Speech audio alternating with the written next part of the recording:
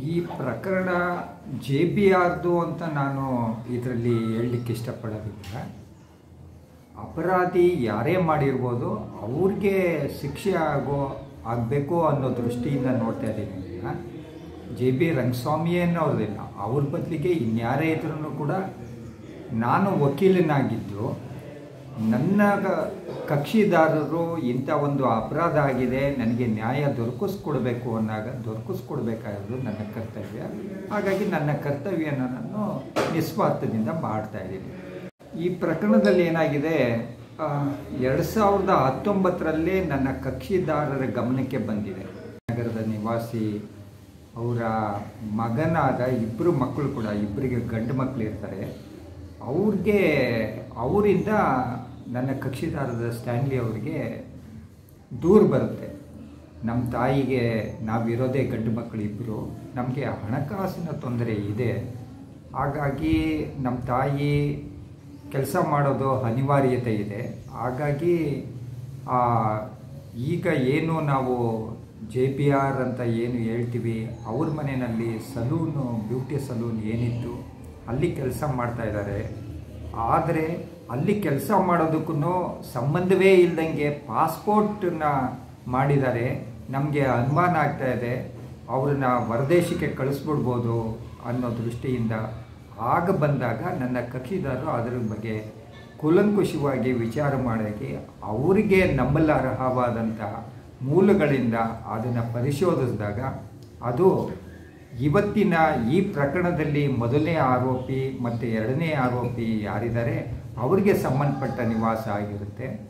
ಆ ಕ್ಷಣನೇ ಅವರು ಯಾವುದೇ ಪಕ್ಷಪಾತ ವಹಿಸದೆ ಅವ್ರ ಬಗ್ಗೆ ಮೊದಲೇ ತಿಳಿದಿದ್ದರೂ ಕೂಡ ತಪ್ಪು ಮಾಡಿದವರು ಯಾರೇ ಆಗಿರಲಿ ಅವ್ರಿಗೆ ಶಿಕ್ಷೆ ಆಗಬೇಕು ಅನ್ನೋ ಗುರಿಯಾಗಿ ಇಟ್ಕೊಂಡಿದ್ದೇನೆ. ಆ ದಿನವೇ ಅವರು ಜುರಿಸ್ಟಿಕ್ಷನ್ ಪೊಲೀಸ್ ಸ್ಟೇಷನ್ಗೆ ಕಂಪ್ಲೇ ಕಂಪ್ಲೇಂಟ್ ಕೊಡ್ತಾರೆ. ಆದರೆ ದುರಾದೃಷ್ಟವಶಾತ್ ಯಾರು ಈಗ ಆರೋಪಿ ಒಂದು, ಒಂದರಲ್ಲಿದ್ದಾರೆ.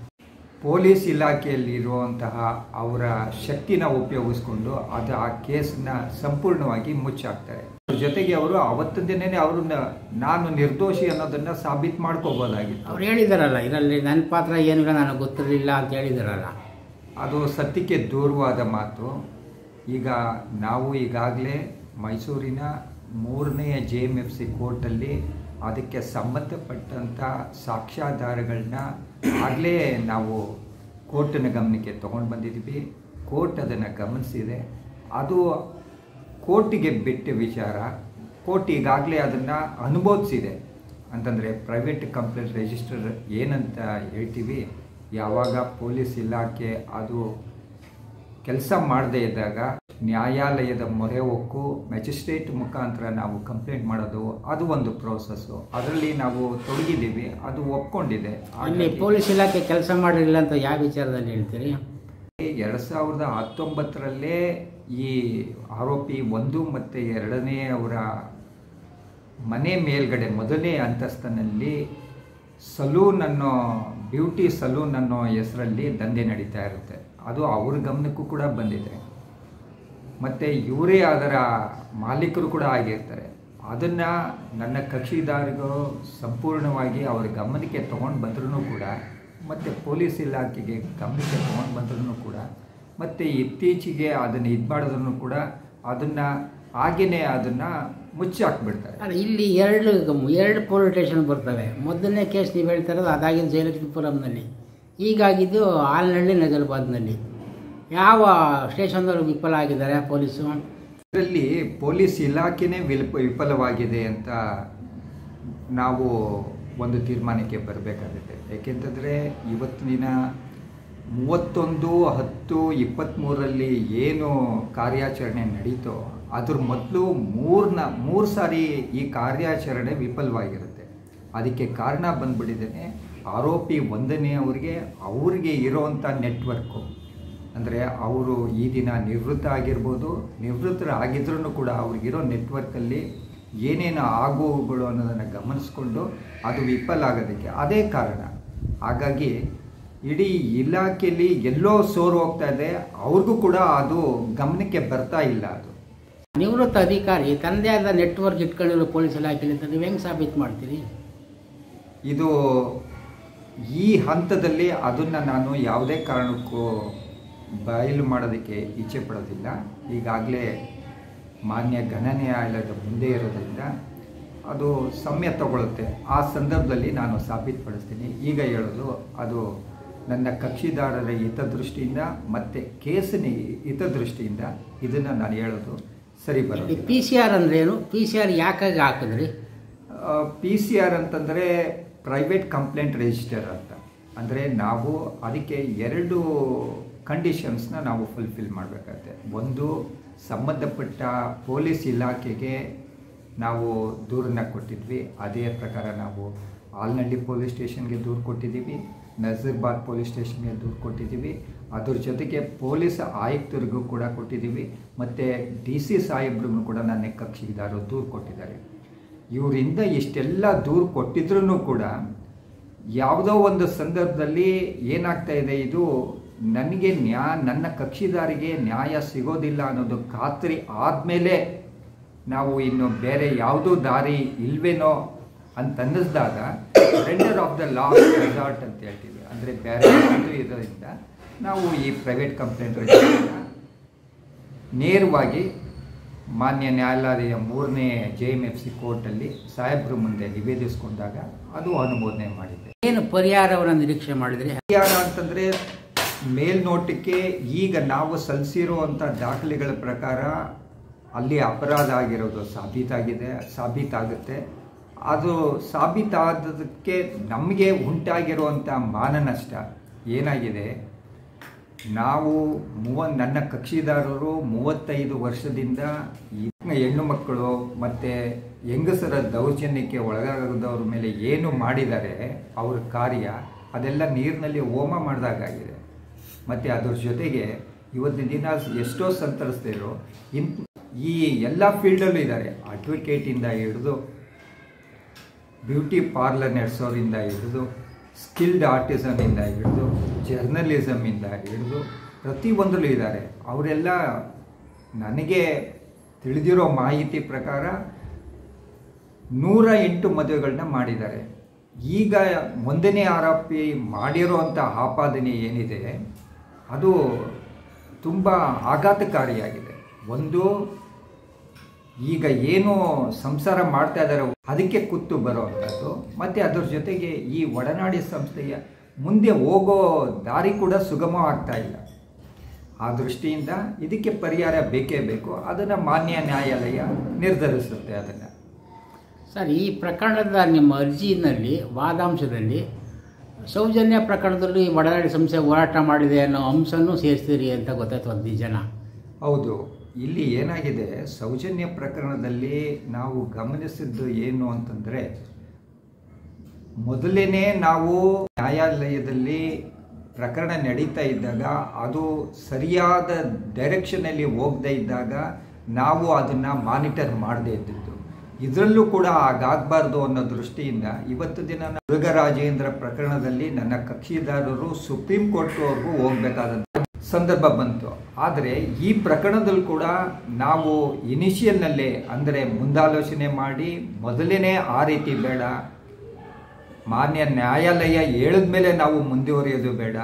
ಶುರುನಲ್ಲೇ ಅದನ್ನು ಮಟುಕುಗೊಳಿಸ್ಬೇಕು ಅನ್ನೋ ದೃಷ್ಟಿಯಿಂದ ಮತ್ತೆ ಮೇಲಾಗಿ ಸಂತ್ರಸ್ತರು ಏನಿದ್ದಾರೆ? ಅವ್ರಿಗೆ ತೊಂದರೆ ಆಗೋ ಅನ್ನೋ ದೃಷ್ಟಿಯಿಂದ ಗಮನದಲ್ಲಿಟ್ಕೊಂಡು ಇದನ್ನು ನಾವು ಪ್ರಕರಣನ ದಾಖಲೆ ಮಾಡಬೇಕಾಯ್ತ ವಿನ ಅದು ಜೆ ಬಿ ಆರ್ ಆಗಿರ್ಬೋದು, ಒಂದನೇ ಆಗಿರ್ಬೋದು, ಎರಡನೇ ಆಗಿರ್ಬೋದು, ಯಾರೇ ಆದ್ರೂ ಕೂಡ ನಮ್ಮ ಸಂತ್ರಸ್ತರ ಜೀವನಕ್ಕೆ ಮೂವತ್ತೈದು ವರ್ಷದಿಂದ ಏನು ಮಾಡಿದ್ದಾರೆ, ಅದಕ್ಕೆ ತೊಂದರೆ ಆಗುತ್ತೆ ಅನ್ನೋದಾದರೆ ನನ್ನ ಕಕ್ಷಿದಾರರು ಯಾವುದೇ ಹೋರಾಟಕ್ಕೆ ಅವರ ಪ್ರಾಣ ಮತ್ತು ಅವರ ಸಂಗಡಿರದ ಇದನ್ನು ಹಂಗನ್ನು ಕೂಡ ಬಿಡದೆ ಅವರು ಹೋರಾಟ ಮಾಡ್ತೀನಿ ಅಂತ ಹೇಳಿದರೆ. ಅವರು ಎಲ್ಲಿವರೆಗೂ ಹೋರಾಟ ಮಾಡ್ತೀನಿ ಅಂತಾರೆ ಕಾನೂನಾತ್ಮಕವಾಗಿ ನಾನು ನ್ಯಾಯ ತೋರಿಸ್ಕೊಳ್ಳೋದು ಅಷ್ಟೇ ನನ್ನ ಕರ್ತವ್ಯ. ಸರ್ ಇಲ್ಲೇ ಇನ್ನೊಂದು ಪ್ರಶ್ನೆ ಕೇಳಿಬಿಡ್ತೀನಿ. ಈ ಸೌಜನ್ಯ ಪ್ರಕರಣದಲ್ಲಿ ಸಂತ್ರಸ್ತರು ಅಂದರೆ ಸಂತೋಷ ಕುಟುಂಬದವರು ಮತ್ತು ಮಾವುತ ಮನೆ ಕುಟುಂಬದ ಸಂತ್ರಸ್ತರು ಅವ್ರ ಪರವಾಗೂ ಕೂಡ ನೀವೇ ವಕೀಲಿಕೆ ಮಾಡ್ತಾ ಇದ್ದಾರಂತೆ ಅದೆಲ್ಲಿವರೆಗೂ ಬಂತು? ಅದರಲ್ಲೂ ಕೂಡ ಏನಾಗಿದೆ ಅಲ್ಲಿ ಏನಾಗಿದೆ? ಯಾರನ್ನ ಇವರು ಅಪರಾಧಿ ಅಂತ ಇವರು ಬಿಂಬಿಸಿದ್ರು, ಅದು ಕೋರ್ಟು ಇವರು ಅಪರಾಧಿ ಅಲ್ಲ ಅಂತ ಕೋರ್ಟ್ ತೀರ್ಮಾನಕ್ಕೆ ಬಂದಿದೆ. ಹಾಗಾಗಿ ಒಂದು ಅಲ್ಲಿ ನಿರಪರಾಧಿಗೆ ಶಿಕ್ಷೆ ಆಗಿರೋದು, ಮತ್ತು ಇನ್ನೊಂದು ಅಪರಾಧಿ ಇನ್ನೂ ನಾವು ಶಿಕ್ಷೆಗೆ ಗುರಿ ಪಡಿಸದೇ ಇರೋದು. ಹಾಗಾಗಿ ಇದೆರಡೂ ಆಗಬೇಕಾಗಿರೋದ್ರಿಂದ, ಅದನ್ನು, ಅದರಲ್ಲೂ ಕೂಡ ನಾವು ಆ ನಿಟ್ಟಿನಲ್ಲಿ ಮುಂದುವರಿತಾ ಇದ್ದೀವಿ. ಅದು ಕಾರ್ಯಾಚರಣೆ ಆಗ್ತಾ ಇದೆ. ಸೊ ಕೆಲವೊಂದು ದಾಖಲಾತಿಗಳು ನಮಗೆ ಸಮಯಕ್ಕೆ ಸರಿಯಾಗಿ ನನ್ನ ಕಕ್ಷಿದಾರಿಗೆ ಸಿಗದೇ ಇರೋದ್ರಿಂದ ಸಾಕಷ್ಟು ವರ್ಷಗಳು ಕೂಡ ಆಗಿರೋದ್ರಿಂದ ಆ ನಿಟ್ಟಿನಲ್ಲಿ ಸ್ವಲ್ಪ ನಿಧಾನ ಆಗ್ತಾ ಇದೆ. ಆದರೆ ನಾವು ಯಾವುದೇ ಕಾರಣಕ್ಕೂ ನನ್ನ ಕಕ್ಷಿದಾರರು ಅದರಿಂದ ಹಿಂಜರಿಯೋದಿಲ್ಲ ಅನ್ನೋ ಭರವಸೆನ ನಾನು ಕೊಡಬಲ್ಲೆ. ಅದೇ ಆ ಸಂತ್ರಸ್ತರ ಪರವಾಗಿ ಹೋರಾಟ ನೀವು ನ್ಯಾಯಾಲಯದಲ್ಲಿ ಮುಂದುವರಿಸ್ತೀರ? ಸಂತ್ರಸ್ತೆ ಅನ್ನೋದಕ್ಕಿಂತ ಅನ್ಯಾಯದ ವಿರುದ್ಧ ಹೋರಾಟ ಮಾಡೋದು ನನ್ನ ಕಕ್ಷಿದಾರರಿದು. ಅದು ಸೌಜನ್ಯ ಪ್ರಕರಣ ಆಗಿರ್ಬೋದು ಮುರುಘರಾಜೇಂದ್ರದ ಸಂತ್ರಸ್ತೆ ಆಗಿರ್ಬೋದು ಅಥವಾ ಇನ್ಯಾರದೇ ಆಗಿರ್ಬೋದು. ಇದರಲ್ಲಿ ಏನಾಗಿದೆ? ಕೆಲವೊಂದು ವಿಚಾರಗಳು ಇದು ಈಗೊಂದು ಹತ್ತು ವರ್ಷದಿಂದ ಸೌಜನ್ಯ ಪ್ರಕರಣ ಏನೂ ಇರಲಿಲ್ಲ. ಈಗ ಅದು ಸುದ್ದಿ ಮಾಧ್ಯಮಗಳಿಗೆ ಬಂದದ್ರಿಂದ ನಾವು ಇದಾಗಿದೆ. ಅದು ಈ ಪ್ರಕರಣದಲ್ಲಿ ಈಗಿನ ಆರೋಪಿ ಒಂದು ಮತ್ತು ಎರಡು ಏನಿದ್ದಾರೆ? ಈ ಪ್ರಕರಣದಲ್ಲಿ ಆ ರೀತಿ ಆಗಬಾರ್ದು ಅನ್ನೋದು ನಮ್ಮ, ನನ್ನ ಕಕ್ಷಿದಾರ ಇಚ್ಛೆನೇ ವಿನ. ಮತ್ತು ಅದರ ಜೊತೆಗೆ ನಾವು ಪೊಲೀಸ್ ಇಲಾಖೆಯಲ್ಲಿ ಇದ್ದಂಥ ಆರೋಪಿ ಒಂದ್ರವರು ಏನು ಮೆಸೇಜ್ ಕೊಡ್ತಾರೆ ಸಮಾಜಕ್ಕೆ? ಅದು ತುಂಬ ಇದಾಗುತ್ತೆ. ಯಾರು ಕಾನೂನನ್ನು ಕಾಪಾಡಬೇಕಾಗಿತ್ತೋ, ಅವರೇ ಕಾನೂನನ್ನ ಮೀರಿ ಹೋಗ್ತಾ ಇದ್ದಾರೆ ಅಂತಂದರೆ ಯಾವ ವ್ಯವಸ್ಥೆಯಲ್ಲಿ ನಮ್ಮ ಸಮಾಜ ಮುಂದುವರಿಬೇಕು. ಯಾರನ್ನ ನಂಬಬೇಕು ಯಾರನ್ನ ನಂಬಾರ್ದು ಅದು ತುಂಬ ವಿಷಾದಕರವಾದ ವಿಷಯ. ಹಾಗಾಗಿ ಆ ಪ್ರಕರಣ ನಾವು ಮುಂದುವರಿತಾ ಇದ್ದೀವಿ. ಈಗ ನ್ಯಾಯಾಲಯದಲ್ಲಿ ಇದು ಯಾವ ಹಂತದಲ್ಲಿ ಬಂತು ಸರ್ ಜೇಬರ್ ಪ್ರಕರಣ? ಇವತ್ತು ದಿನ ಅದಕ್ಕೆ ಸ್ಫೋರ್ನಿನ್ ಸ್ಟೇಟ್ಮೆಂಟ್ ಅಂತ ಹೇಳ್ತೀವಿ. ನಾವೇನೇ ಇದು ಮಾಡೋದನ್ನು ಮಾನ್ಯ ನ್ಯಾಯಾಲಯ ಅದೇ ಪರ್ಸ್ನಲ್ ಆಗಿ ಎಂಕ್ವೈರಿ ಮಾಡುತ್ತೆ. ಅದನ್ನು ಆಧರಿಸಿ ಅದು ಮುಂದುವರಿಯುತ್ತೆ. ಅದು ಒಂದು ಸ್ಟೆಪ್ ಅದು. ಅದ್ರ ಜೊತೆಗೆ ಈ, ಯಾವ ಇಲಾಖೆ ಇದನ್ನು ಪರಿಗಣಿಸದೆ ಇನ್ವೆಸ್ಟಿಗೇಷನ್ ಮಾಡಿರಲ್ವೋ, ಕೆಲವು ಮಾಹಿತಿಗಳು ನಮಗೆ ಸಿಕ್ಕಿದೆ. ಆ ಮಾಹಿತಿಗಳನ್ನ ನಾವು ಹಂತ ಹಂತವಾಗಿ ಕೋರ್ಟಿನ ಗಮನಕ್ಕೆ ತೊಗೊಂಡು ಬರ್ತೀವಿ. ಅದು ತೊಗೊಂಡು ಬಂದಾಗ ಕೋರ್ಟು ಒಂದು ಕನ್ಕ್ಲೂಷನ್ಗೆ ಬರುತ್ತೆ, ಅದ್ರ ಮೇಲೆ ಮುಂದುವರಿಯುತ್ತೆ ಸರ್, ಈ ಪ್ರಕರಣದಲ್ಲಿ ಆ ನಿವೃತ್ತ ಡಿ ವೈ ಪಿ ಅವರ ಪತ್ನಿಯ ಹೆಸರು ಎಲ್ಲೂ ಕೇಳಿ ಬಂದಿರಲಿಲ್ಲ. ಆದರೆ ನಿಮ್ಮ ಪ್ರಕರಣದಲ್ಲಿ ಅವ್ರನ್ನೂ ಪಾರ್ಟಿ ಮಾಡೋದು ಏನಕ್ಕೆ ಸರ್? ಇಲ್ಲ, ಇದು ತಪ್ಪು ಕಲ್ಪನೆ ಅದು. ಏನಾಗಿದೆ, ಈ ಪ್ರಕರಣದಲ್ಲಿ ಈ ಮಾಲೀಕರು ಅನ್ನೋ ಹೆಸರಲ್ಲಿ ಅವ್ರ ಹೆಸರೇ ಇರೋದು. ಯಾವುದು ಲೀಸ್ ಅಗ್ರಿಮೆಂಟ್ ಏನಿದೆ, ದೀಪಿಕಾ ಅನ್ನೋರು ಒಬ್ಬರು ಅವ್ರನ್ನು ಕೂಡ ನಾವು ದೂರಿದ್ದೀವಿ. ಇವರನ್ನೇ ಅಂತಲ್ಲ, ಆ ಪ್ರಕರಣದಲ್ಲಿ ಯಾರ್ಯಾರು ಪೊಲೀಸ್ ಇಲಾಖೆ ಬಿಟ್ಟಿದೆಯೋ ಅವ್ರನ್ನೆಲ್ಲ ನಾವು ತೊಗೊಂಡು ಬಂದಿದ್ವಿ. ಅದ್ರ ಜೊತೆಗೆ ಇನ್ನು ಮುಂದೆ ನಮಗೆ ಸಿಗುವಂಥ ಮಾಹಿತಿ ಮತ್ತು ದಾಖಲೆಗಳ ಪ್ರಕಾರ ಇನ್ನು ಯಾರ್ಯಾರು ಇದರಲ್ಲಿ ಅಡಗಿದಾರೋ ಅಥವಾ ಹಿಂದೆ ಇದ್ದಾರೋ ಅನ್ನೋದು ಕೂಡ ನಮಗೆ ಗೊತ್ತಿಲ್ಲ. ಅದು ಬಂದಾಗ ಆಯಾ ಸಂದರ್ಭಕ್ಕೆ ತಕ್ಕಂತೆ ಯಾರೇ ಆಗಿರ್ಬೋದು ಅವ್ರನ್ನ ತಪ್ಪು ಮಾಡಿದರೆ ಅವ್ರನ್ನ ಶಿಕ್ಷೆಗೆ ಗುರಿಪಡಿಸೋದು ನನ್ನ ಕಕ್ಷಿದಾರರ ಕರ್ತವ್ಯ, ಅವ್ರು ಮಾಡೇ ಮಾಡ್ತಾರೆ. ಅವರು ಈಗ ನ್ಯಾಯ, ತೀರ್ಮಾನ ನ್ಯಾಯಾಲಯಕ್ಕೆ ಬಿಟ್ಟಿದ್ದು. ಆರೋಪಿಯ ವಿರುದ್ಧ ಎಫ್ ಐ ಆರ್ ಆದರೆ ನೆಕ್ಸ್ಟ್ ಏನಾಗುತ್ತೆ? ಎಫ್ ಐ ಆರ್ ಅಂದ ತಕ್ಷಣವೇ ಅದು ಪನಿಷ್ಮೆಂಟ್ ಅಲ್ಲ. ಫಸ್ಟ್ ಇನ್ಫಾರ್ಮೇಷನ್ ರಿಪೋರ್ಟ್ ಅಂತ. ಆ ಇದರಲ್ಲಿ ನಾವು ಕೊಟ್ಟಂಥ ಇನ್ಫಾರ್ಮೇಷನ್ನ ಅವರು ಈಗ ರೆಕಾರ್ಡ್ ಮಾಡಿಲ್ಲ. ಸೊ ಇದು ನೇರವಾಗಿ ನ್ಯಾಯಾಲಯನೇ ಕಾಗ್ನಿಸೆನ್ಸ್ ಅಂತ ಹೇಳ್ತೀವಿ. ಅದು ತಗೋಬೋದು ಅದು. ನಾವು ಕೊಟ್ಟಂಥ ಮಾಹಿತಿ, ದಾಖಲೆಗಳು ಏನು ಸರಿಯಾಗಿದೆ, ಇದರಲ್ಲಿ ಅಪರಾಧ ಆಗಿದೆ ಅನ್ನೋದಾದರೆ ನ್ಯಾಯಾಲಯ ಎಫ್ ಐ ಆರ್ಗೆ ಹೋಗಬೇಕು ಅಂತೇನಿಲ್ಲ. ಡೈರೆಕ್ಟಾಗಿ ಕಾಗ್ನಿಸೆನ್ಸ್ ತಗೋಬೋದು. ಇದು ಆರೋಪ ಸ್ಥಿರವಾದರೆ ನ್ಯಾಯಾಲಯದಲ್ಲಿ ಏನು ಶಿಕ್ಷೆ ಗರಿಷ್ಠ ಮಟ್ಟದಲ್ಲಿ ಸಿಗ್ಬೋದು ಸರ್? ಅದು ನ್ಯಾಯಾಲಯಕ್ಕೆ ಸಂಬಂಧಪಟ್ಟ ವಿಚಾರ. ನ್ಯಾಯಾಲಯದ ತೀರ್ಪಿನ ಬಗ್ಗೆ ನಾನು ಕೇಳ್ತಾ ಇಲ್ಲ. ನೀವು ಹಾಕಿರೋ ಸೆಕ್ಷನ್ಗಳ ಅಡಿಯಲ್ಲಿ ಗರಿಷ್ಠ ಅಥವಾ ಕನಿಷ್ಠ ಶಿಕ್ಷೆಯ ಪ್ರಮಾಣ ಏನಿರ್ತದೆ? ಆ ಕಲಂಗಳನ್ನ ಕೇಳ್ತಾರೆ ಕೇಳ್ತಾ ಆರು ತಿಂಗಳಿಂದ ಎರಡು ವರ್ಷದವರೆಗೂ ಆಗುತ್ತೆ.